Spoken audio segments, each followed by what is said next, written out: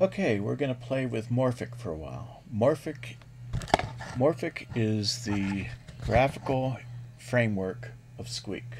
I'm not even going to try to explain it, except to say you ain't seen nothing till you've seen Morphic. So we're going to create a new Morphic project. We're going to open a morph. Does that look familiar? Let's find a certain kind of morph called a scroll pane. And let's look at some example code that happens to be embedded in the class comment. We're going to select it and do it, which opens a window with a scroll pane. Okay, let's resize that scroll pane in the window. And let's open a different Morphic. Morphic is the framework, morphs are the classes of that framework. So we have a morph embedded in a morph. We close it out. We resize it. And we see if it works. Yes, it does. We just embedded a morph in a morph. Let's embed another morph.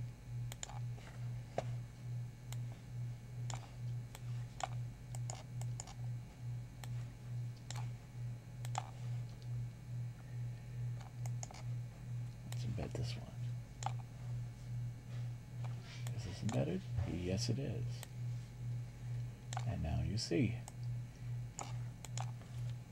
Transcript show 2 over 2 times 3. Do it. Alright, that was exciting. How about instead we say transcript show, erase here, transcript show 23 sign. Alright, you get the idea now. Morphics are really cool. Every single graphical element you see is a morph. Even the text is a morph. That looks kind of silly. Let's see if we can put it back.